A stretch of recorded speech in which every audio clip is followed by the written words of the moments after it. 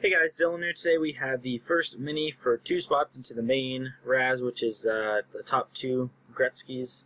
Uh, we have Adam on top and Tony on the bottom, so we will be doing this three times, with spot number one getting to pick a spot in the main, and then spot number two on the third random as well, getting a spot in the main, but spot number two we'll pick after spot number one, just to be fair. So we are live once again, three times randomized, and top two win spot into the main. So Adam and Matthew after one, Matthew and Tony after two. 18, 30, 39 is the second timestamp. Copy that. Bringing it back to the thread. Verify it at 2.30 August 6th. We have 2.30 August 6th. And the top two winners are Daryl and Matthew.